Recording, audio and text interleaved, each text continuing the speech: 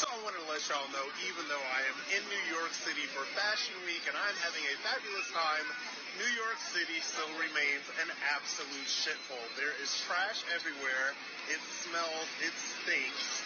If you go into any sort of pharmacy, if you go to Duane Reade, Walgreens, whatever, every single thing is locked up. Are you telling me they really have everything locked up? Up.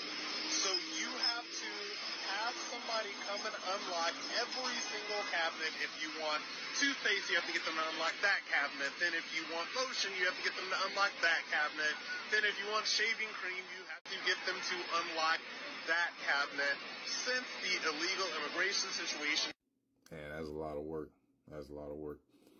All right, what's up with this illegal immigration situation? immigration situation here is absolutely crazy. They're being bussed in to the tune of 10,000 per month.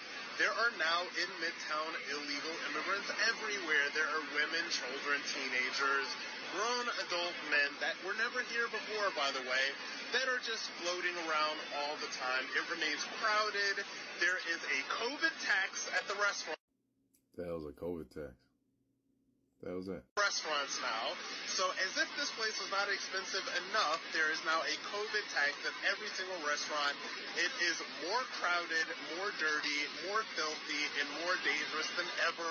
I will never, ever, ever live here ever again. I am ready for Fashion Week to be over so I can get out of this absolute hellhole.